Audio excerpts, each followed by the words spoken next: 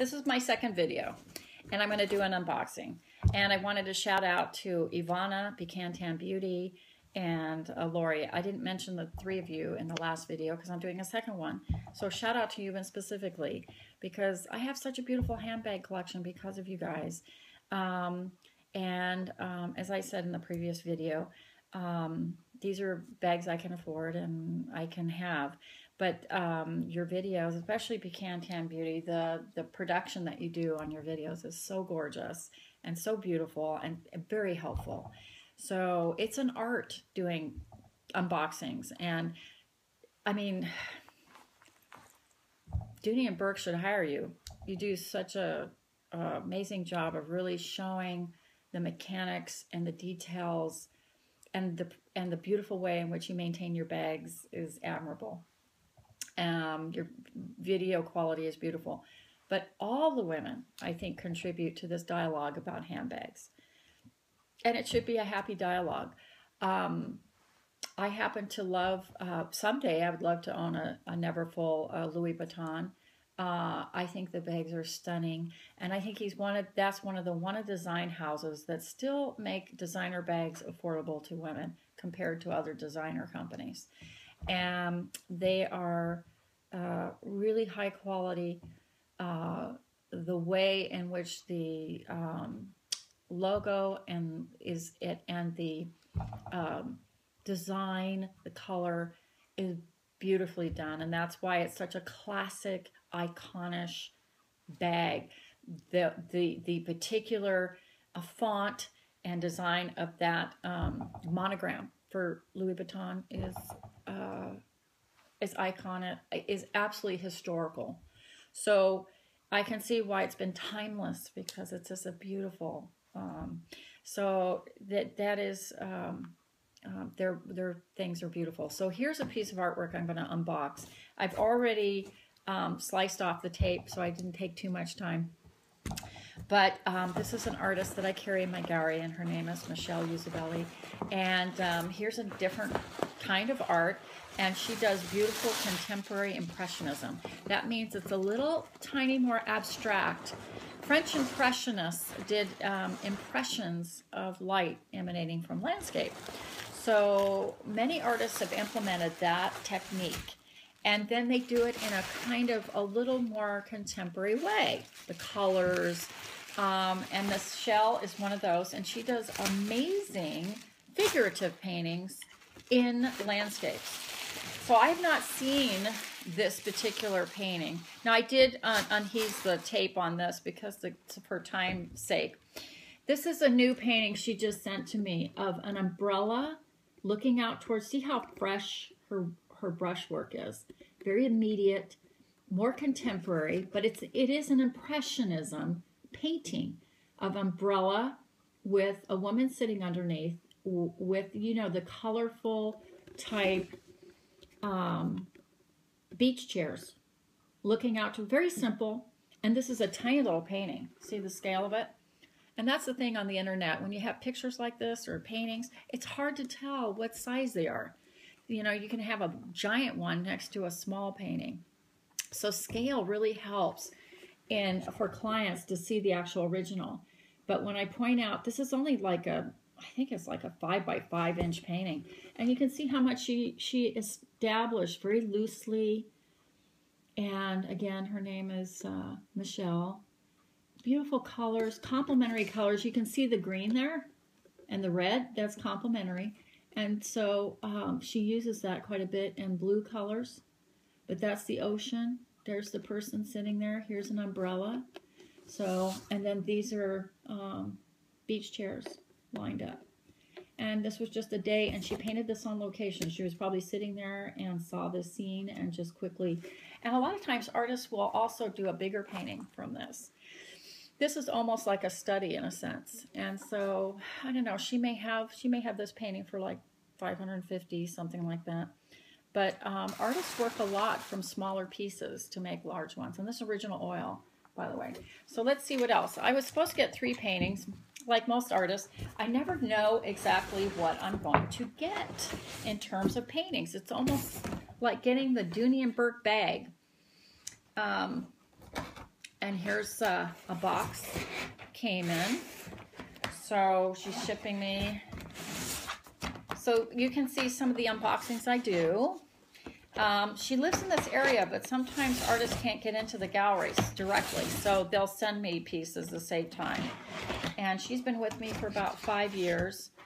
Very talented. I'm, in fact, most of the artists I show are way more talented than I am. They are uh, phenomenal people too. And here's another one that's quite interesting, quite different. And I haven't seen these paintings, so I'm exploring it with you. Look at that. Now this is a little bigger painting. This is 12 by 14-ish. And it's two people sitting out at a carnival, a festival. We have festival, um, you know, traveling festivals that come to our area in different locations. And so she sat down and painted that. Um, may have taken a few photographs, not sure, but she's a plein air painting painter and paints on location, figurative work. So she probably asked him to hold still while she did the painting. But you can see the beautiful color of her of the woman's shirt, the red, and this blue jean is the complement of that yellow. So artists think about all that when they're doing a painting, what colors and um, and emphasizes them. So I'm sure this is the color shirt she had. But the artist picked up on this composition. And then it's very interesting to see, see the Ferris wheel in the distance and how loosely that she paints. And you can see that it's a painting because of the painterly, we call it painterly way in which she painted. So you see how rough it is? It's blotches and of paint. And the French Impressionists were really wonderful about showing blotches of paint. And then you pull back and it comes into more realism. And that's the beauty of creativity. Look at these beautiful taupey colors, balances out the bright. So it kind of is informative of how we dress. You know, wearing these neutral colors and then popping it with a bright color bag, like that beautiful butter yellow that they had in the Dooney and Bourke, I guess it was the smooth leather hobo, had this butter yellow, also the sunflower yellow. So it's fun to to contrast, you know, a dull soft gray tones with a pop of color. You can also do, you know, wear a yellow outfit and put a blue bag. So this is how I work my bag collection. I think in terms of these color um, arrangements. Like this is the this is my favorite color. It is the burgundy. This is purple burgundy. Love the crimson color. And it looks well with the blue. And crimson actually looks great with yellow too. Warm tones. And then right next to that is the green of the lawn. So when you wear khaki green, wearing the um, crimson color against khaki green is a really beautiful combination. Um, today, I'm wearing these colors. And this knee that's showing, these are the colors I'm wearing today with a touch of khaki green and my bag. So this is kind of um, showing how painting and art and design, and when I talk about when we talk about Louis Vuitton or Hermes or any of these designer bags, you notice the texture of the canvas. The canvas comes in a variety of um, fabric. So here's the back. And this is called daydreaming. See the canvas? This is cotton duck. And it is the old, in Europe, they used to use sailcloth and then use stretcher bars. You see this around the edge of the canvas. These stretcher bars support the fabric upon which the painting is painted. And see how tough that is. But it's fabric, it's cotton made out of, it's heavy sailcloth is really what they used on boats. And so artists who didn't have enough money used fabric because it was cheap at the time and used bits of wood to make the canvas into a structured shape, a rectangle, right? In the old days, they used to use wood panel was the best way to show a painting, how they painted, but wood became scarce in Europe and became very expensive. And artists couldn't afford it. So this was an inexpensive way and a lighter way in which to paint on their easels, and it was easier to carry around, not as heavy as a panel wood solid wood panel. Some artists today have gone back to painting on wood panel and guys that's perfectly acceptable because wood panel never disintegrates. Canvas can if it gets mold on it disintegrates on you over hundreds of years if it's been left in you know uh, water just like any piece of fabric that you wear. So the texture of a louis vuitton bag is the texture of canvas um, some canvases are linen, and there's all different grades of canvas, all different grades of linen and texture and nubbiness. And so when you compare, for example, the Dooney and Bourke texture to a Dooney and Bourke or, or to a Louis Vuitton or any other high designer bag that uses canvas, you're going to have different textures based on the fabric they use, based on the process that they use um, for the coating. And um, the, the, there uh, are patented, um, some of the companies have patents on the way the coating works on those bags to protect them. Because if you get mildew and mold, it'll destroy the fabric over time. And so they have to have a coating on it in order to protect it from stains, um, because canvas is cotton like your clothes and it can stain and it can rip and it keeps it from absorbing water because water decays fabric and it does that on canvases too over over years. And you'll see spots and things on old paintings.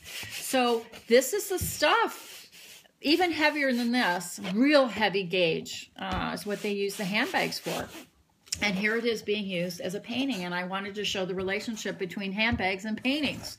And that's how I'm linking it together.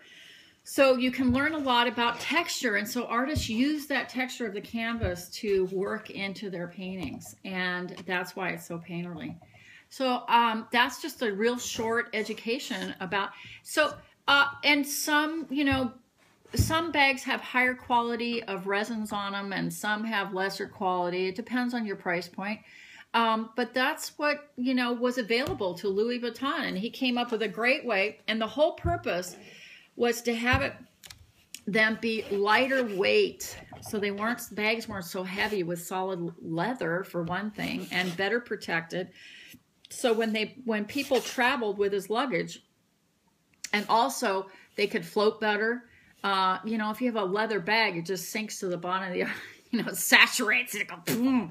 And so there was a practicality in figuring out how to protect the cotton and make it into a bag that was luxury and gorgeous. And they did a great job. And so other companies have emulated. They all emulate each other. Come on.